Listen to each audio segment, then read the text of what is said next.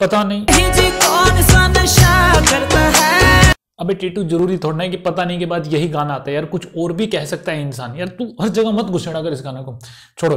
पता नहीं मैंने क्या सोच कर ये मूवी देखनी शुरू की। मेरा अब मन कर रहा है कि काश इस मूवी को देखने से पहले मैं इसका ट्रेलर देख लेता। नमस्कार दोस्तों, इस वीडियो में बात करने वाला हूँ। वट हैपन टू मिस्टर चाह इस मूवी के बारे में। ये एक नेटफ्लिक्स पर आई कोरियन मूवी है। एक मिनट में आप लोगों को बता देता हूँ कि ये हिंदी में डब नहीं मिलेगी। इवन हिंदी तो छोड़ो। यार, ये इंग्लिश में डब नहीं मिलेगी। मैंने कैसे देखी? ऑब्वियसली इसके अंदर सब थे, उसका यूज़ किया। अब टेंशन ना लो। यार, देखो ये पूरी वीडियो तुम देख लोगे तो आपको सब की भी ज़रूरत नहीं पड़ने वाली है। तो अब इसकी कहानी के बारे में बात करते हैं। एक व्यक्ति होता है करीबन 45 से 50 साल का। यही जो मिस्टर चार जिसका नाम है, इसका देखो पूरा नाम है, लेकिन मैं इसका प्यार से चाय कहूँगा। तो इसकी जो एज है वो 45 से 50 साल है मतलब इसी के बीच में। और जब ये फेम जब ये मतलब जवान होता था, यंग होता था तो एक बहुत ज़्यादा फ़ेमस एक्टर हुआ करता था, पच्चीस साल तक फ़ेमस रहा था। लेकिन जैसे जैसे इसकी एज बढ़ती गई, इसको साइड में करते गए। साइड में करने का इन द सेंस कि यार, इसकी जगह पर कोई और अच्छे अच्छे एक्टर आ गए, उन्होंने इसकी जगह ले ली। लेकिन ये अपनी एक काल्पनिक और एक वहम की दुनिया में रहता है। इसको लगता है कि यार, इसी की चलती है, हर कोई इसी को मतलब सुनता है। और ये अभी भी बहुत ज़्यादा फ़ेमस है, लेकिन ऐसा नहीं है। अब होते हैं ना ऐसे काफ़ी सारे लोग जिनकी एज तो बढ़ जाती है, लेकिन उनकी बुद्धि शायद उतनी ग्रो नहीं हो पाती। उनको यार ये एक्सेप्ट करना चाहिए कि भाई साहब एज बढ़ गई है, तुम साइड में हटो। जो नया खून आ रहा है, नया खून मतलब कि जो यंगस्टर आ रहे हैं, उनको जगा दो, वो आके अपना नाम कमाए। अब तुम तुम कब तक वहाँ पर कब्जा करके बैठे रहोगे? इसी मिस्टर चा का एक मैनेजर होता है। भाई साहब, ये जो मैनेजर होते हैं ना, इतना झूठ बोलते हैं, इतना झूठ बोलते हैं। ये मैनेजर मतलब इस इंसान को एक सच्चाई तक नहीं बताती कि लोग इसके पीठ पीछे क्या बोलते हैं। जो मीडिया हाउसेज है, वो इसके बारे में क्या बोलते हैं। इसको सारा का सारा झूठ के इस पिटारे में बंद करके इसको मतलब बताते रहता है कि यार हाँ आप बहुत अच्छे हो, आप बहुत मतलब ऐसे कहोगे, यार, मोटिवे मोटिवेशन एक अलग चीज़ होती है और यहाँ पर झूठ के उसको नकाब में मतलब इसको लपेट के रख रखा था बिल्कुल झूठ में।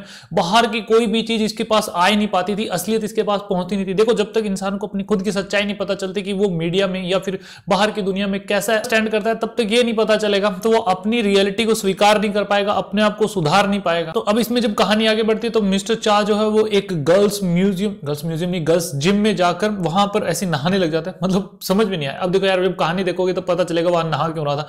तो वहाँ अचानक से विस्फोट हो जाता है। देखो, अचानक से तो क्या, वो ऑलरेडी प्लानिंग जगह थी कि भी इस गर्ल्स जिम को गिराने जाने इसको पता नहीं था, तब ये वहाँ पे जाता है वहाँ फंस जाता है उस मलबे में फंस के रह जाता है। साथ में इसका एक छोटा कुत्ता भी होता है। ये वहाँ से पूरा नंगा उस मलबे में दबा हुआ है। इसके पास एक फ़ोन भी है। और वहाँ पर ऊपर इसके मतलब नीचे मलबे में दबा हुआ है तो ऊपर लोग भी हैं।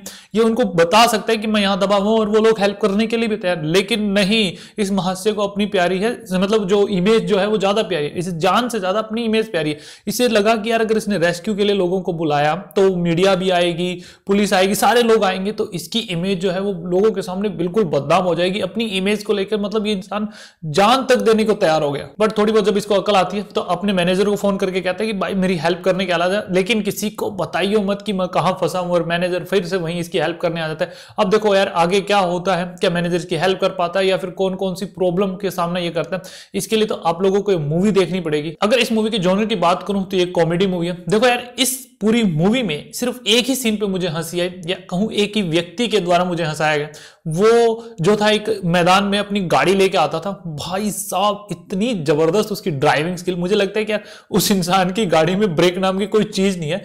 जब भी वो उसमें ग्राउंड में उसने तीन बार टोटल एंट्री की और जब भी वो आया तो इतनी भयंकर तरीके से गाड़ी घुमा के लेके आया और मतलब आता है, उतरता है, चिल्ला के फिर चला जाता है। इतनी ज़बरदस्त उसकी मतलब एंट्रेंस मुझे बहुत कमाल की लगी। अब तुम लोगों, तुम यही सोचोगे ना, यार, इसमें क्या मज़ा है? देखो, जब भी आप मूवी देखोगे, तभी फील करोगे हाँ एक्चुअल में वो चीज़ क्या थी? उस सीन को देखकर जितनी जितनी भी बार उसने एंट्री की ना, मेरा पेट दर्द होने लग गया था हंस के। अभी जो इस मूवी के जो वीक पॉइंट है, उसके बारे में बात करूँ तो सबसे बड़ा वीक पॉइंट इसकी स्टोरी है यार, इतनी ज़्यादा वीक स्टोरी है। हम इससे कनेक्ट तक नहीं हो पाते हैं। फिर इसके बाद बात करेंगे, इसमें जो कॉमेडी का जोनर इन्होंने डाला है, वो बहुत ज़्यादा वीक है। एक दो सीन के ऊपर हँसी आएगी, बाकी पूरी की मूवी जो है नील बटे सन्नाटा है।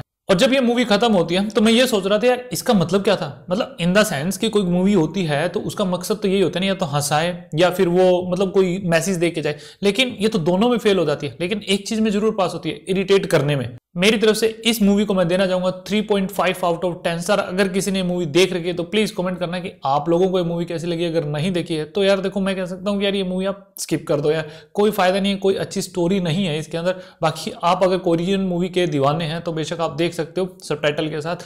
तो बस आज के लिए इतना ही था इस वीडियो में। Thanks for watching this video मिलते हैं नेक्स्ट वीडियो में। जय हिंद।